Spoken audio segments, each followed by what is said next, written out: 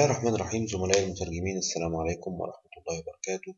أهلا بكم في الدرس السابع من دروس تعليم برنامج ترادوس SDL Trados Studio 2011 النهاردة هنتكلم عن حاجة مهمة جدا اللي هي Auto Suggest Dictionary. بمعنى إن حضرتك لو بتترجم في مشروع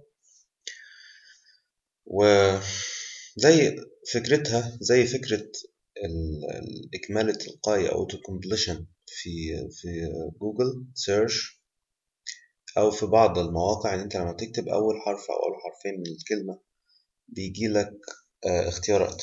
طبعا ال search database في المواقع أو في ال search engines بيبقى فيها database ضخمة. لكن إحنا في برنامج الترادوس عايزين نطبق الكلام ده ونستفيد بيه. لكن ده مش هيتم إلا عن طريق ال term base وال auto suggest dictionary.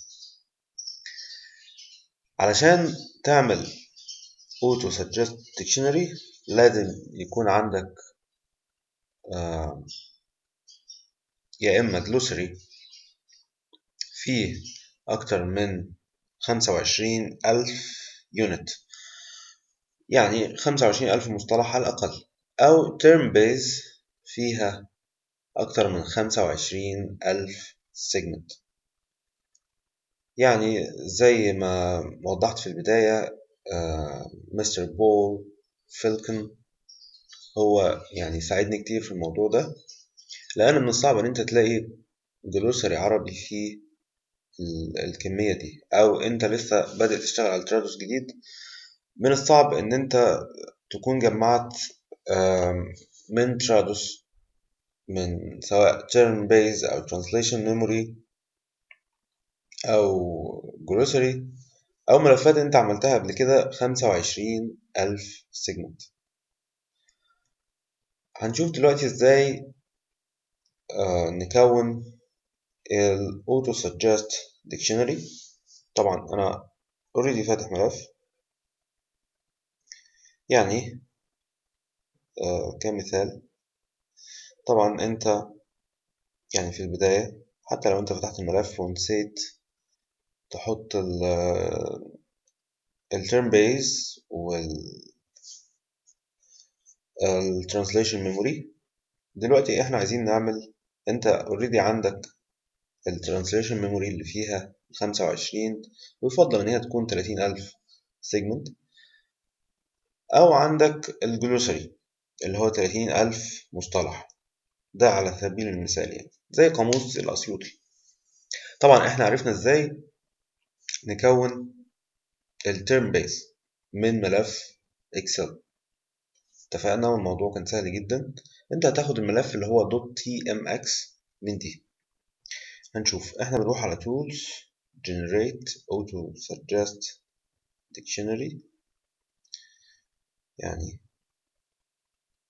تعمل browse بتختار ذاكرة الترجمة. وبتشتغل عادي.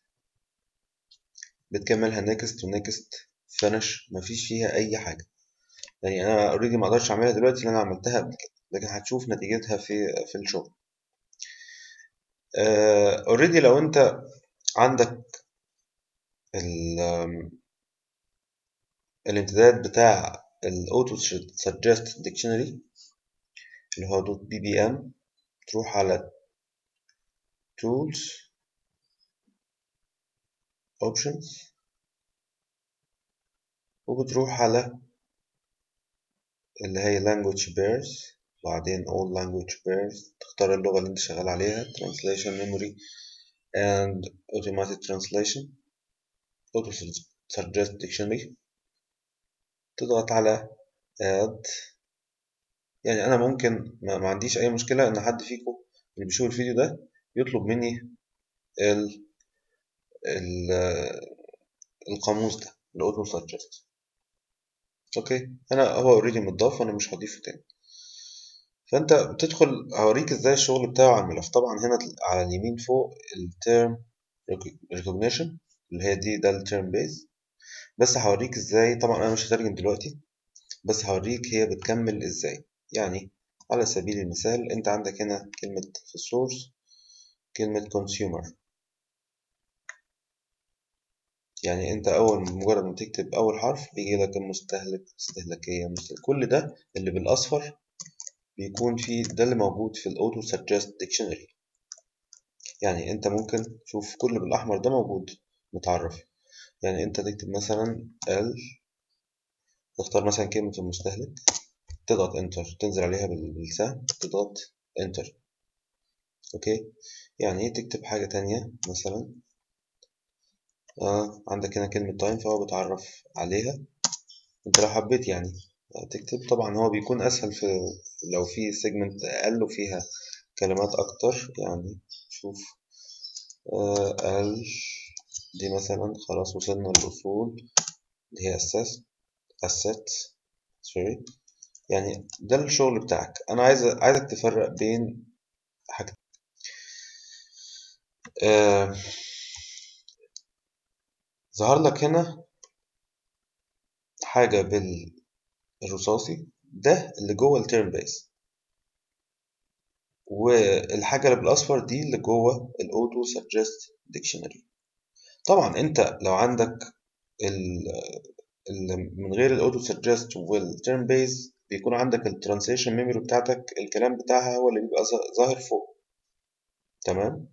يعني هيبقى عندك هيبقى عندك translation memory هيبقى عندك term base هيبقى عندك auto suggest dictionary. اللي عنده أي مشكلة بتواجهه في تكوين ال auto suggest dictionary ممكن أنا يعني ما عنديش أي مشكلة أساعد وبالفعل أنا ما بتأخرش عن أي حد يعني. عندك أي مشكلة في ال term base؟ عندك أي مشكلة في ال translation memory؟ يعني ابعت لي message سواء على اليوتيوب أو تويتر فيسبوك جيميل أي حاجة وأنا تحت أمركم. يعني أتمنى أن يكون درس, درس النهاردة مفيد. آه وده يعتبر من أهم الحاجات اللي هي موجودة في التراتش أنت مش محتاج حاجة بعد كده. أنت كل اللي أنت يعني هتتعب نفسك شوية وتكتب يعني. بس هو هيكمل لك. وإلى اللقاء في دروس قادمة من دروس تعليم الترابس